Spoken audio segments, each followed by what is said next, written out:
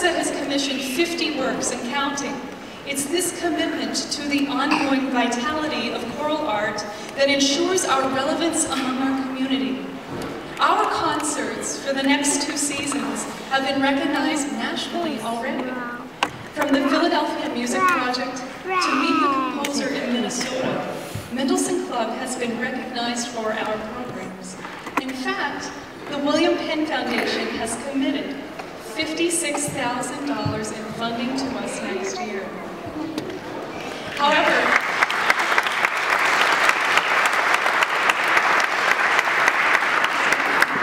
However, we only receive that support if we meet our goals for this year. And that's where you come in, actually. We've been challenged by the foundation to prove to them that our audiences support us. With ticket sales only And good afternoon to all of you. We're delighted to include you now in this journey that we have been on a cultural, cross-cultural journey of rituals, both east and west.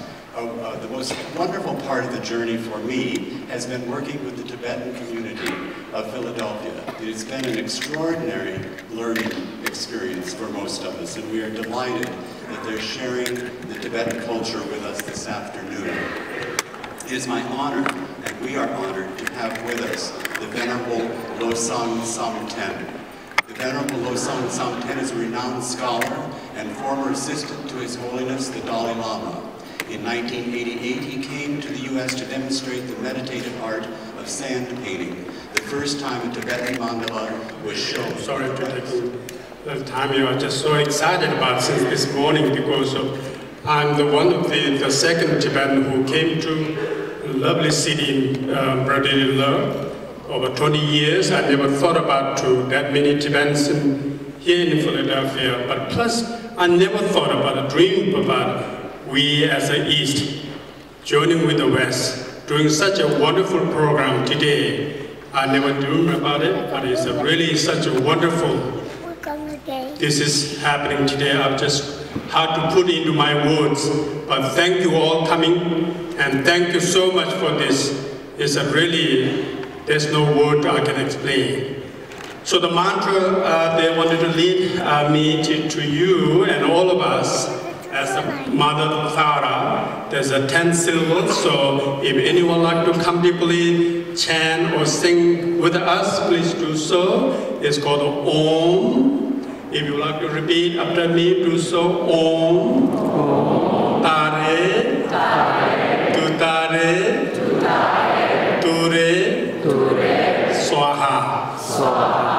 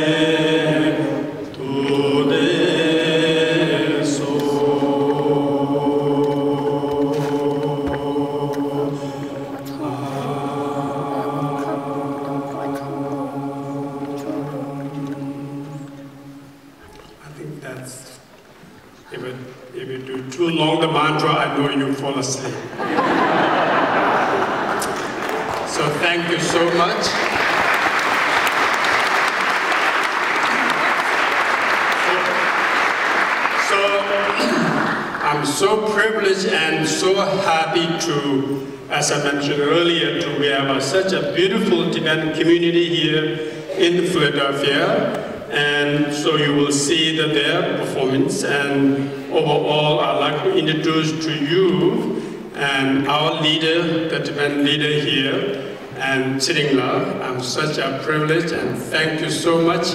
Here's Tsering. Thank you, Rosana.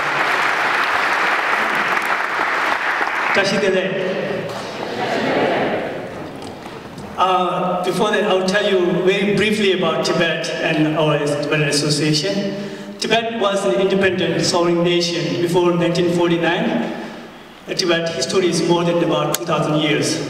And as far as recent history, Tibet was declared an independent nation by the 13th Dalai Lama in 1913. In 1949, People's Republic of China, whose leader was Mao Zedong, came to Tibet as an uninvited guest to bring a socialist paradise to Tibet. But instead, they destroyed our culture, tradition, religion, and language of Tibet. In 1959, they defeated our small resistant army, and Dalai Lama had to fly to exile in India. Now, over 60 years, a cultural genocide is happening inside Tibet. Tibetan monks and nuns are dispelled from monasteries. Tibetan nomads are put in a concentration camp with the building blocks with nowhere. Tibetan languages are uh, banned from teaching in the schools. And the Lhasa city, which used to be a holy city with the Dalai Lama's palace, where people do prostrations and prayers and mantras, now has become like a smelly market with the bars and discotheques and uh, uh, prostitutes. So, Tibetan Association of Philadelphia is a non-profit organization, along with other Tibetan associations in America, is trying to preserve and promote our unique Tibetan culture, tradition, language, and religion of Tibet. We do this by organizing events, cultural events, and uh, celebrating Tibetan festivals, and we have a Tibetan Sunday school where we teach our children language, Tibetan uh, culture, tradition, and so on. And uh, every once a year we have a Tibetan bazaar, which is most ethnic Tibetan event uh, uh, is visited in Philadelphia.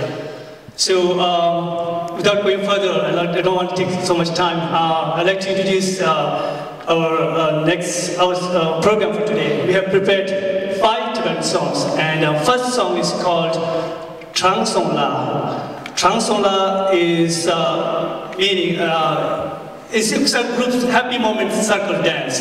Tibetan people love singing and dancing. When they do work, they sing and dance. When they drink, they dance. So Changsala will be performed by our us parents group, and since I'm also one of the parents, uh, I'll be also performing this dance. So in this dance, the excitement is to watch the feet tapping the floor.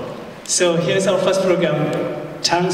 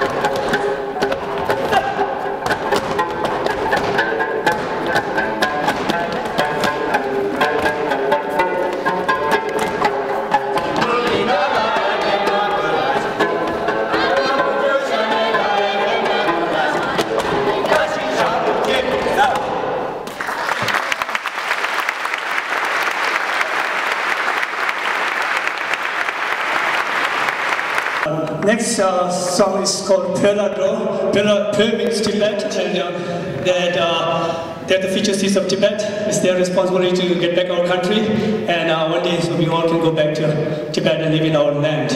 When they do this, that means they're going to Tibet. When they do this, uh, they're, they're looking at the beautiful places of Tibet, and when they do this, they're praying for the happy reunion with our brothers and sisters inside Tibet. It's called Velado.